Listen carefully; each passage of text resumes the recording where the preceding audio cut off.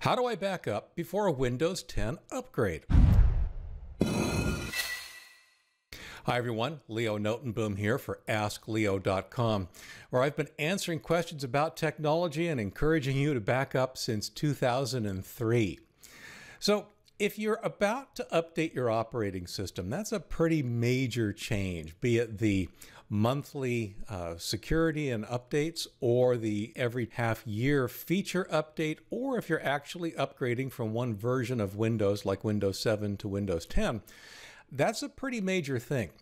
I have long recommended that the thing you do immediately prior to doing such an upgrade is to take a complete system image backup. The reason I focus so much on what I call a system image backup is that it is an image of everything on your hard drive.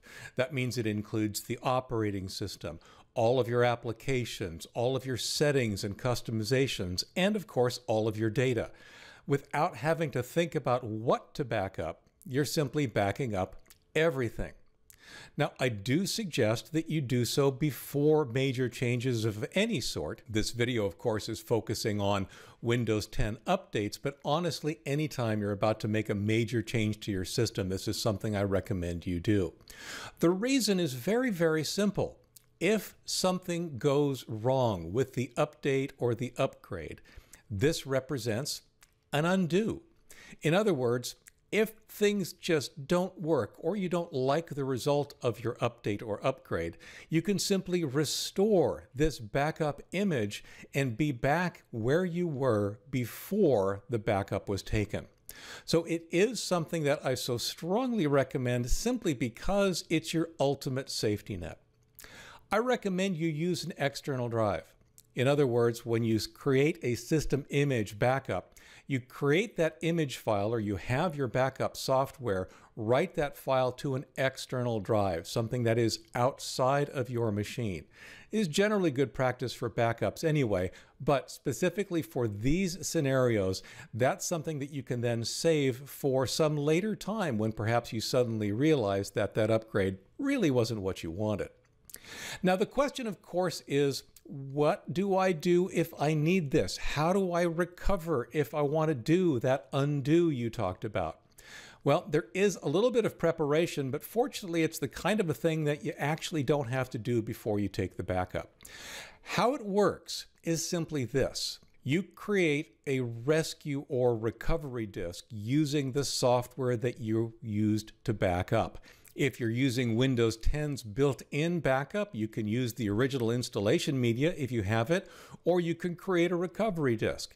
If you're using backup software like EaseUS Todo or Macrium Reflect, they include a specific task that will create a recovery or rescue or emergency disk. They're all really the same thing, different terms for different software. You would then boot from this rescue media instead of booting from Windows itself. That rescue media then would allow you to restore the backup image that you had created to your hard disk in one step. Here's the thing 99 times out of 100, you will never need to use this backup. 99 times out of 100, everything will work just fine. 99 times out of 100, you'll eventually be happy with the result if it just happens to be a matter of taste. But the bottom line is, most of the time, you really don't need this. It's that 1% that one time out of a hundred or one out of a thousand where something really does go wrong and you want to be able to recover, you want to be able to restore, then you'll be incredibly glad that you took the time to take that image back up before the upgrade or update. Now, again, to be completely honest, none of this should be new. In fact, it's very possible you don't have to do a thing. Here's why. If you've been following my recommendations over the years, you already have a system image backup in place. You've got it happening nightly. Every night, you're taking system image backups. You may be doing a full backup once a month, followed by daily incrementals, but that's an image backup. And if you're doing it daily, as I recommend, that means that if today you happen to install something that completely trashes your system without having to do a thing, you've got yesterday's backup to go back to. So if you're already backing up, if you're already following my recommendation of doing system image backups of some sort every day, you may not need to take any additional steps. But if you're not, or if you're backing up less frequently, which is certainly a very valid approach to backing up, then immediately prior to those major system changes like Windows feature updates, take that backup image, just in case.